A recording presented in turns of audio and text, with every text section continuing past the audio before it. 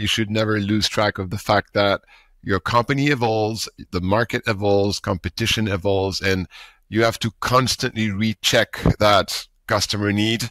And um, to give you a very, very concrete example, we started this business with by selling to very small businesses, you know, like a 49 a month kind of product. We're now transitioning slowly to selling to more mid-market, like larger businesses with more like a 1,000 a month type of product or, or more. The needs are very different. Like the, the needs of the very small business and the need of the mid-market businesses are like night and day. And your product needs to adapt. Everything around the product needs to adapt. The way you sell to them, the way you market to them. So that understanding the customer is a never ending process. You know, there's no, oh, now I understand my customer. I can go do something else.